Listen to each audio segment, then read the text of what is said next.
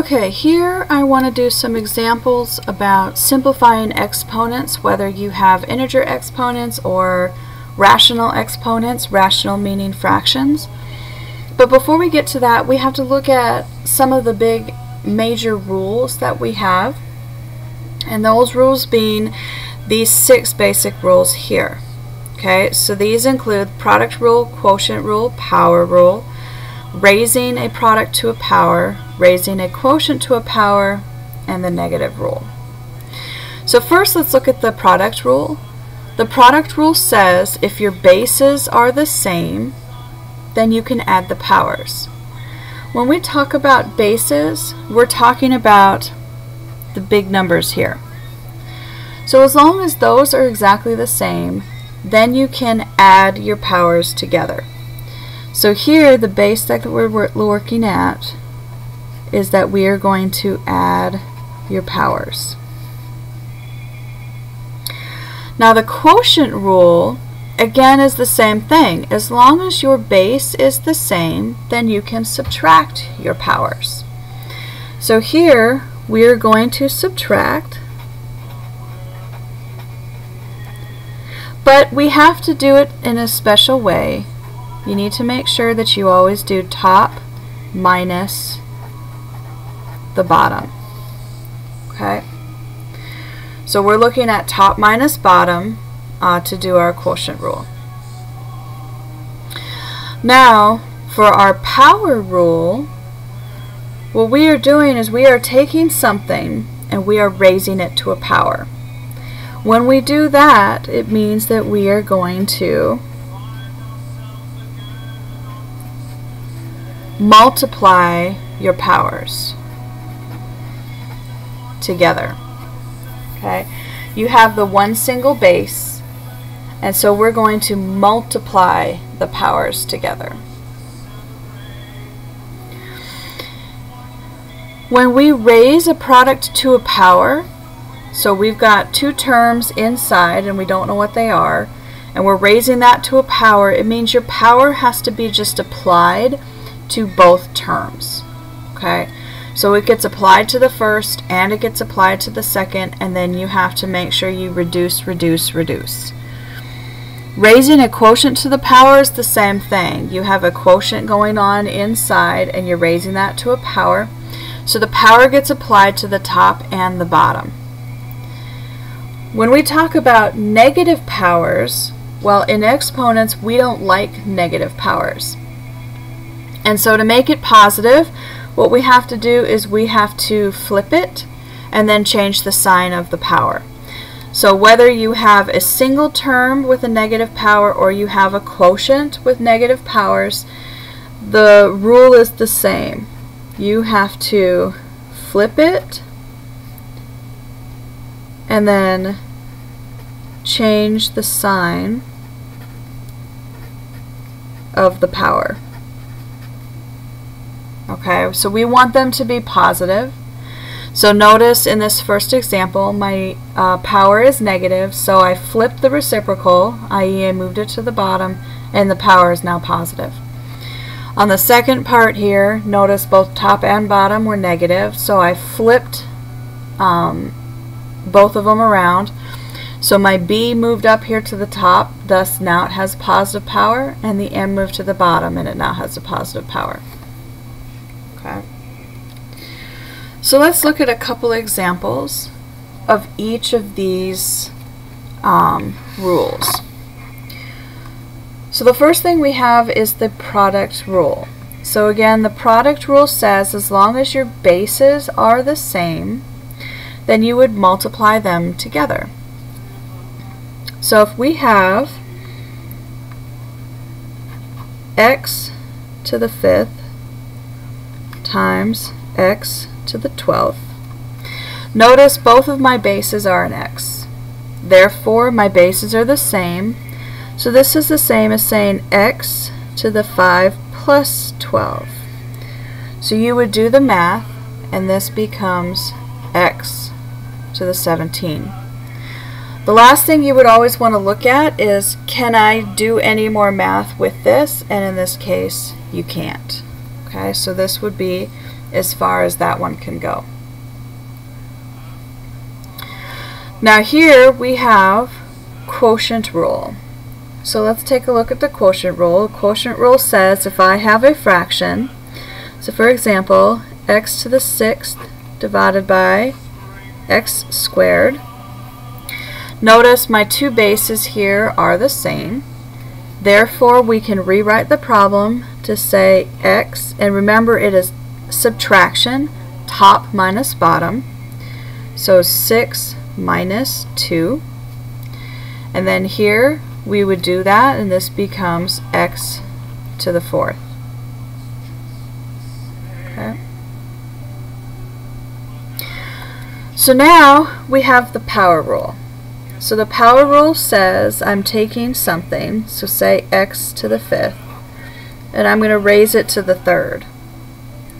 So the power rule says multiply. So let's actually break this down, and what does this mean? Well, if we look at this as a single unit, when I'm raising it to the power, I'm telling you I have three of them. So this becomes x to the fifth times x to the fifth times x to the fifth. Okay, so that's actually what is going on. In order to shortcut ourselves, we say I can take this and simply multiply my powers. So notice breaking it apart is the same as I have said x to the 5 times 3. Both of these are going to end up giving you an end result of x to the 15. Okay? So that is the power rule. Raising a product to a power says that I have more than one term inside my parentheses. So here I may have something like 4 to the first, x to the seventh. And I'm going to raise this to the third power. So here we have to apply the power onto both, which means we have to use multiplication. So this becomes 4 to the 1 times 3, and then x to the 7 times 3. Well, 1 times 3 is 3, so this is 4 to the third. And then 7 times 3 is 21, so this is x to the 21st. But then, this part right here, we have to do the math. And the reason for that is because we can. 4 to the third actually has a value. And its value here is 64. So this is 64x to the 21st. And this would be your most simplified answer. Okay.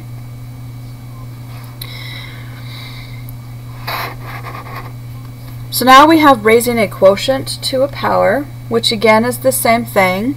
It says we're going to take a big quotient. So for example,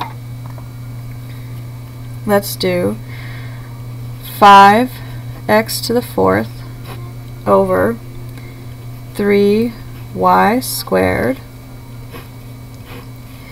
And again, let's go ahead and raise this to the third power. So what this says is that I have to apply this 3 onto all four terms. So this is going to become 5 to the third, x to the 4 times 3, over 3 to the third, y to the 2 times 3. So when we simplify all of that, 5 to the third is 125. And this becomes x to the 12th. And this whole thing is over. 3 to the third is 27. y to the 6th. Now we would want to look at this fraction to make sure that we have nothing else to reduce and notice 125 over 27 doesn't change and here my two bases are different. Therefore this would be the most reduced fraction. Now last we have our negative power. So for example if I had x to the negative 5 well what we have to remember is we have to remember that all numbers are over 1. So what we need to do here is we need to flip it. So we're going to flip it and then we are going to change the sign to a positive. So here this is going to become 1 over x to the fifth. Okay. So those are the six rules that we need to pay attention to when simplifying our results. So how are these going to apply? Well, you may see questions like this one that say simplify using positive exponents only.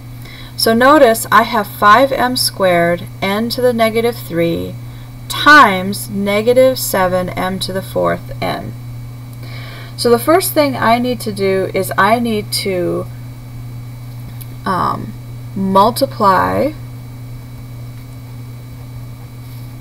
your constants. You could also call them the coefficients. And in this case, I am doing multiplication. Okay, so this would then, I'd have to follow the product rule, which says to add the powers. Okay. So I'm going to rewrite this to make this look a little bit better. So I have to first multiply my constants or coefficients. So this is actually going to be 5 times a negative 7. Then I'm going to put my two m's next to each other. So I have m squared times m to the fourth. Lastly, I have my n's. So I have n to the negative 3 times n. So I have to multiply together. So these two here are going to become negative 35. I then have to multiply these two together. So this becomes m to the 2 plus 4. And then I have the last piece to do. So this becomes n to the negative 3 plus 1. So we need to simplify this. So we have negative 35 m to the sixth n to the negative 2. Well, what we have to remember again is that this whole thing would now be over 1. And so because of um, my negative here, this whole term we have to move down to the bottom. We need to flip this one. And the reason we have to flip it is because it's negative. So as soon as we do that, this is going to give us a negative 35 m to the sixth all over n squared. Now all of my powers are positive, therefore I am finished. And this becomes my final answer. So this right here is what we were looking for. Okay.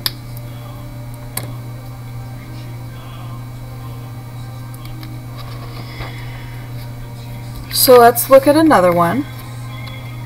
So in this case, notice I have a quotient. So I have 56 x to the 8th y to the negative 4 over 8 x to the negative 2 y to the 5th. So when I'm looking at what I need to do here, here I have to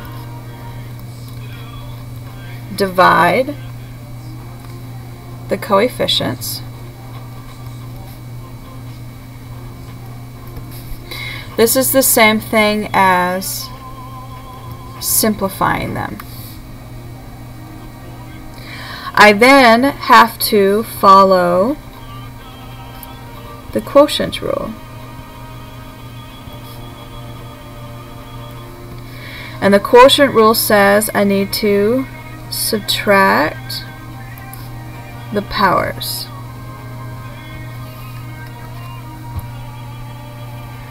When I subtract the powers, you need to remember that we need to do top minus the bottom.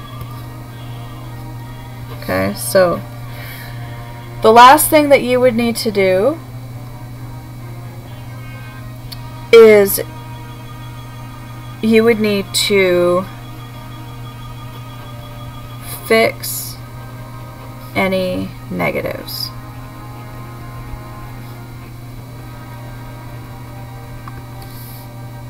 Okay. So let's actually take a look at this. So I have 5 or 56 over 8.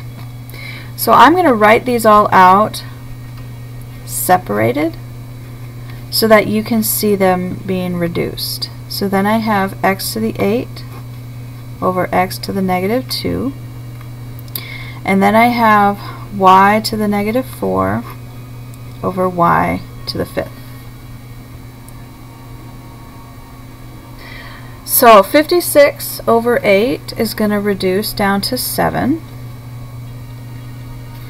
And then I'm going to have x, and because I'm doing the quotient, it means I have to subtract my powers. So this is going to be 8 minus a negative 2. And then I'm going to have y. Again, I have to subtract my powers. So this is negative 4 minus 5. So this becomes 7x. Negative and negative becomes positive. 8 plus 2 is 10. And then I have y. Negative 4 minus 5 gives me a negative 9. This one right here we need to fix. So this means we need to flip it. So we are going to have 7x to the 10th divided by y to the 9th. Notice all of my powers are now positive. Therefore, I have finished and have my final result. So this is the result that we were looking for.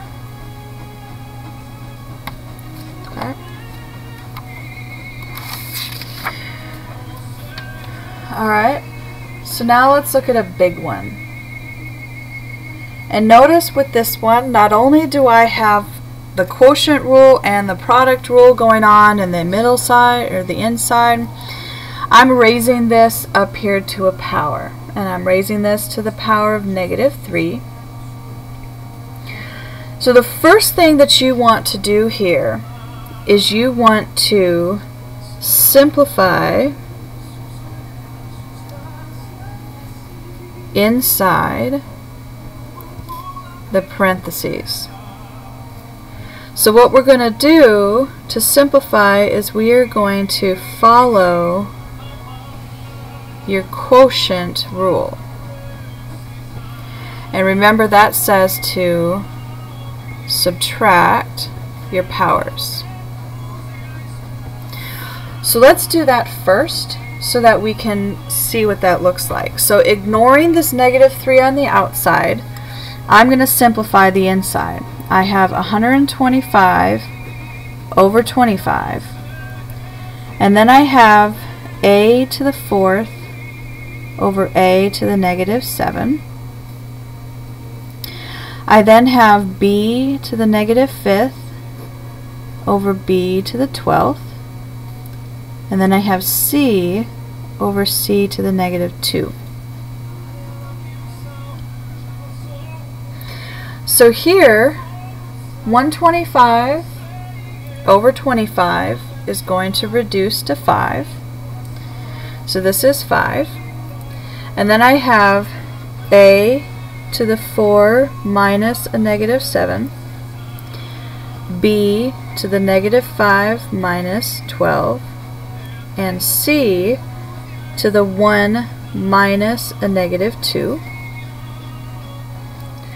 And now I need to reduce all of those powers, so this becomes 5 a to the 11, b to the negative 17, and then c to the 3.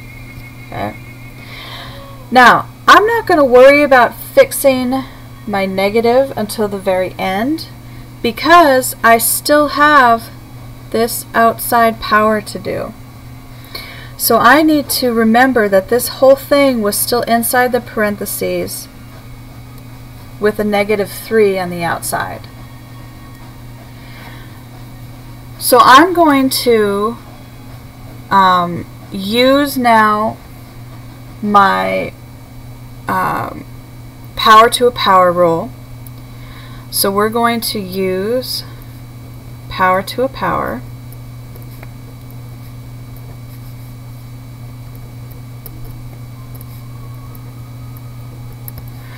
which again says you're going to multiply your powers, but you have to distribute it to all parts. So this negative 3 here has to multiply to this first part, this part, this part, and the last part. Okay. So in order to do that, I have to 5 to the negative 3 a to the 11 times negative 3, b to the negative 17 times negative 3, c to the 3 times negative 3. Reduce my powers. This is 5 to the negative 3. And then I have a to the negative 33, B to the 51, and C to the negative 9. So again, what we have to remember is that this whole thing is over 1, which means I have three parts that have to flip. So I've got the C, which needs to flip down, I have my A, which needs to flip down, and I've got 5 to the negative 3, which needs to flip down. So all of these you need to uh, flip in order to make positive. So here my overall result is going to become b to the 51st over, and then I have 5 to the third, A to the 33, C to the ninth. The last thing that we need to do is we have this part right here where we have to do the math. Which means we actually have to do that power. So 5 to the third is 125. So the answer that we are actually looking at in its most simplified form is b to the 51st over 125, a to the 33, c to the ninth. And this is what we were looking for. This is the most reduced part of the problem. Okay.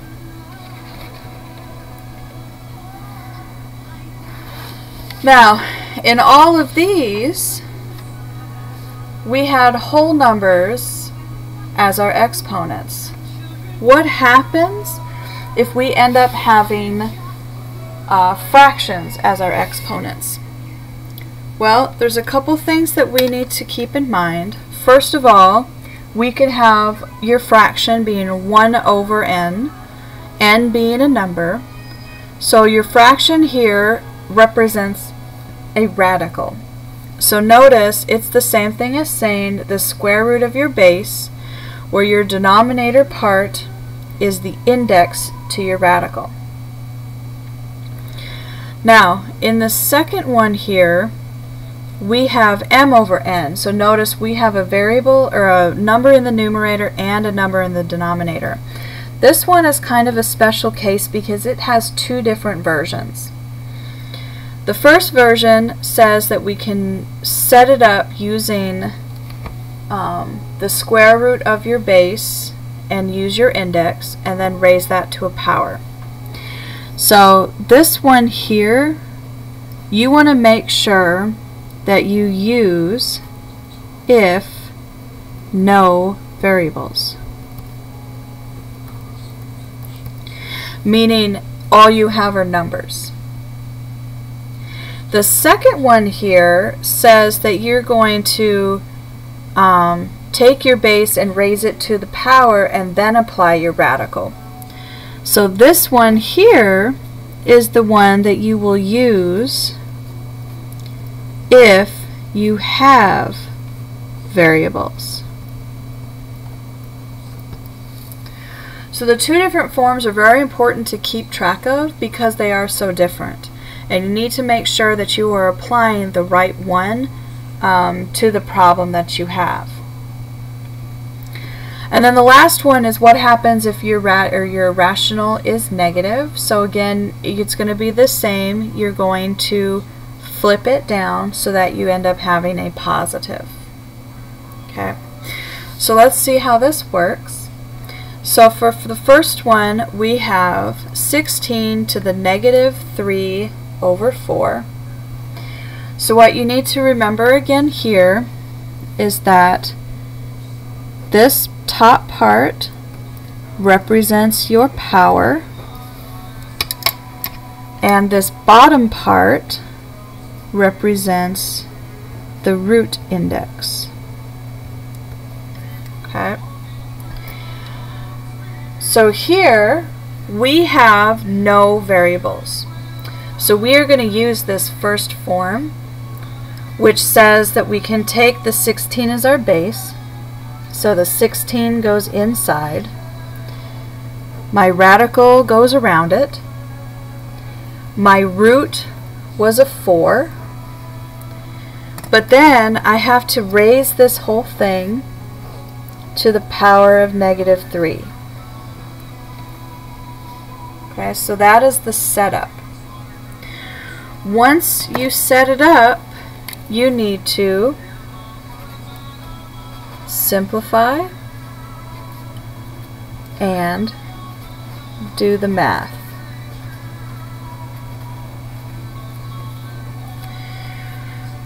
So you need to first work inside your radical.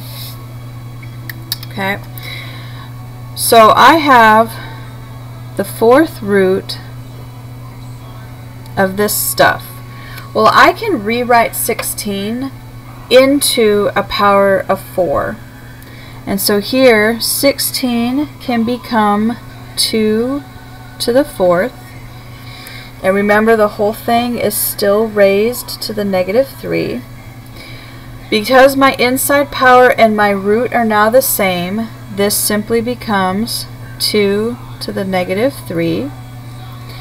We need to flip to get our positive power, so we need to um, flip it to finish solving. So this becomes 1 over 2 to the third. And then again, you need to do the math. 2 to the third is the same as 8. So this is going to be 1 over 8. And this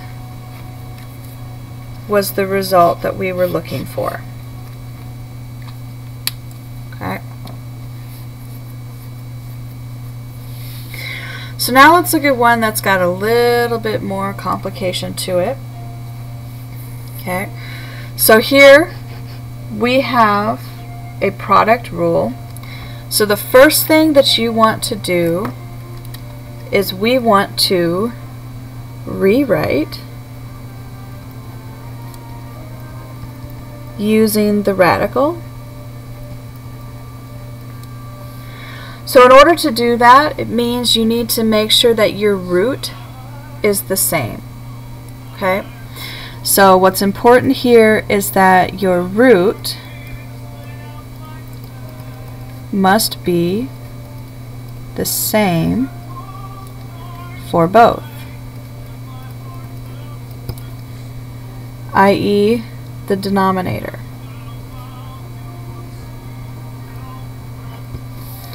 Okay, so we need to make sure that the root is the same. So here, this right here is my root. Same, this right here is my root. And notice they're both a 5, therefore my roots are the same. So I can rewrite this as a single radical. Because I have a root of 5, it means that this is the fifth root. And I can input my square. And this becomes m to the 11th n to the 6th. Okay, Because remember, this part here represents the power, the top. Okay. And that's going to be the same for the 6 right here. This represents your power. Now I have to reduce each of these. Okay. So in order to do that, you need to remember your radical rules. So I have 11 M's. And I want to look at how many groups of 5 can I pull out. And so one way to do that is to just simply look at the numbers and use old-fashioned division.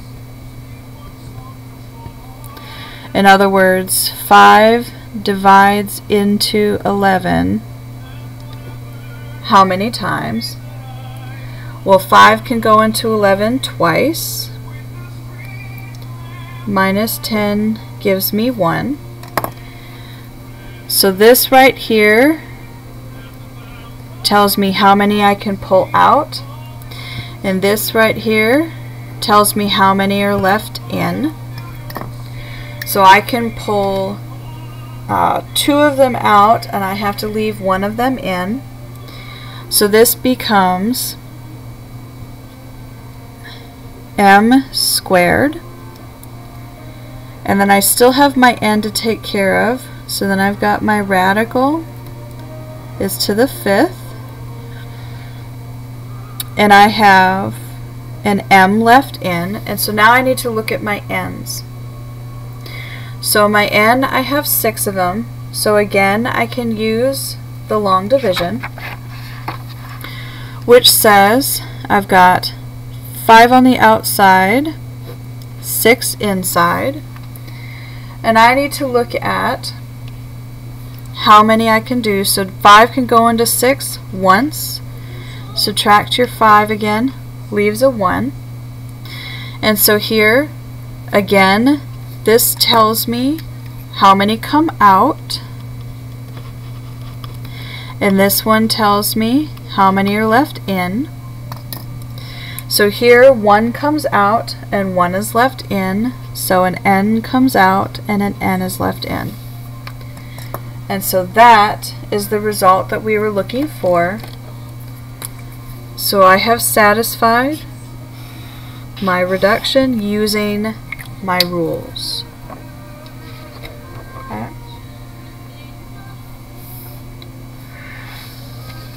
So let's look at another. So this one wants us to simply convert to exponential notation and then simplify if possible. So what does this actually mean? Well, this means that we need to remove the roots. Okay, that is the goal. And we need to rewrite as powers. Okay, so let's look at this first one. So here I've got the square root of y to the fourth, um, and it's the 12th root. So remember, this right here represents your power, whereas this one right here represented the denominator. And so here this would be rewritten as y to the 4 over 12. And then we need to reduce. So we need to reduce and simplify the fraction. So 4 over 12 can reduce down to 1 over 3. So this becomes y to the 1 over 3. And that is the result that we are looking for.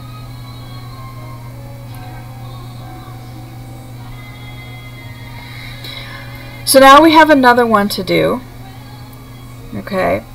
So I'm going to rewrite these so that we can actually look at them a little better. Here I have the square root of 2 and then I have the cubed root of 2. And what you don't see is that this is a 2 and a power of 1 and this is a power of 1. So again, what do we know? Well, we know that this part is the denominator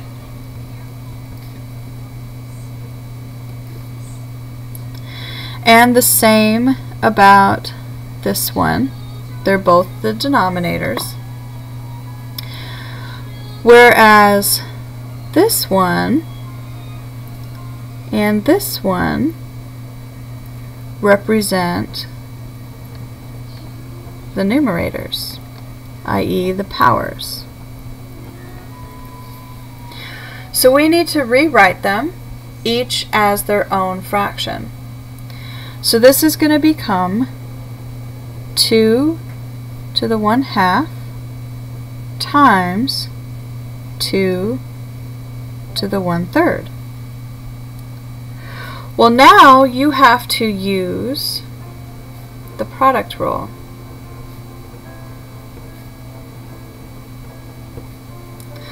And the product rule says that you have to add the powers. So this is going to be the same as 2 to the 1 half plus 1 third. So what you have to remember there is you have to remember your fraction rules, which the fraction rules say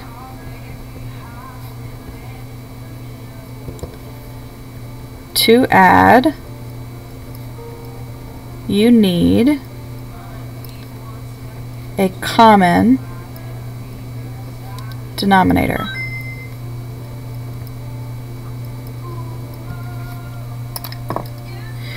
So I have 1 half plus 1 third. So my common denominator here is going to be 6. So if I look at 1 half, in order to make 6 in the bottom, says I have to multiply the top and the bottom. So the top and the bottom by 3.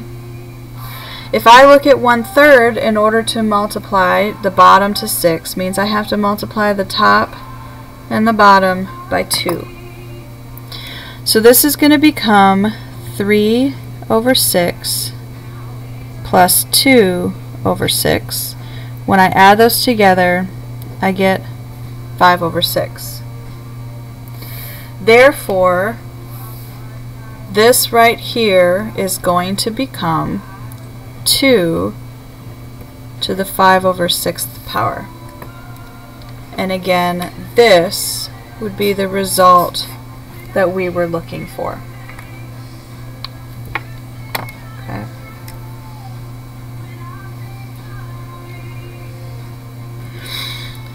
Now the next example we have says that you need to simplify and write your solution using radical notation.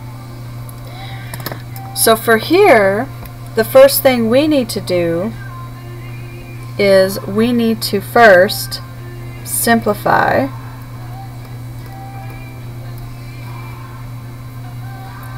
and then rewrite your fraction powers as radicals.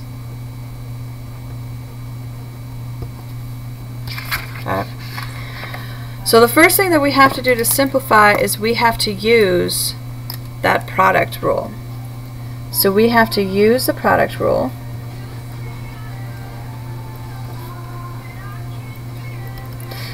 which again says that you need to add your powers. So here I'm going to rewrite it. I have 3 times 2 times x to the 1 half times x to the 2 thirds. Well 3 times 2 is 6 so here I'm going to have 6 and this is going to be x to the 1 half plus 2 thirds. So when we add that together, again remember you need to have a common denominator. So this is going to become 6x to the 7 over 6. You need to remember again that this top piece here represents your power and the bottom here represents the root. The number out in front, or the big number, is just that. It stays a big number out in front. So this becomes 6. My root is a 6, so this is the sixth root of x to the seventh. And now you need to simplify. We need to simplify the radical. Okay, so here we need to simplify the radical. So we can do our old school division again. So we've got 6 on the outside, 7 on the inside. 6 can go into 7 once. Minus 6 leaves me with once. So again, remember, this tells me what you can take out, and this one tells you what you leave in. So here, I'm going to have 6. I can take 1x out and then I have the sixth root of 1x left in. Okay. And so this would be what you were looking for. Okay.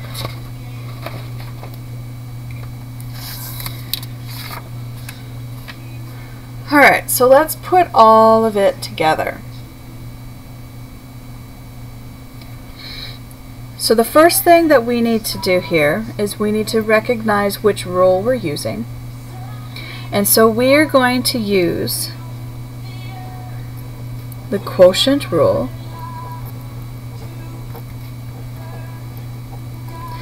which says we need to subtract the powers. So I'm going to look at them. I have x to the 5 eighths over x to the negative 3 eighths. And then I have y to the 2 thirds over y to the 1 fourth. So I have to set that up. Okay, so here this is going to become x to the 5 eighths minus my negative 3 eighths. And then I have y to the 2 thirds minus my 1 fourth. Okay. So here this is going to become x 5 eighths plus 3 eighths becomes 8 over 8, which we know reduces to 1. And then I have to figure out my next power. Okay, so here I've got my 2 thirds. So I have 2 thirds minus 1 fourth. I need a common denominator. So I have 4 and 3. My common denominator is 12. So that means I have to multiply my first fraction top and bottom by 4. So this becomes 8 over 12. I'm still subtracting. And I have to multiply top and bottom over here by 3. So this becomes 3 over 12, which leaves me with 5 over 12. So here, this is y to the 5 over 12. And the last thing we need to do is we need to reduce. So the first thing we did was we had to use the quotient rule. The second thing we have to do is we have to use the fraction power rule. So I have x to the first, y to the 5 over 12s. So again, what I need to remember is that this top right here represents the power and the bottom here represents the root. So this becomes x and then I'm doing the 12th root of y to the fifth. Now there's nothing else to do there because in order to reduce the y I would have to be able to take 12 of them out at least and I can't do that. So this would be the end result that we were looking for. Last but not least, we have this one here. So this one is going to use a combination. First, we have to use the product rule, which says to add the powers. Second, we have to use the quotient rule, which says to subtract the powers. Third thing we have to do is we have to use the fraction rule.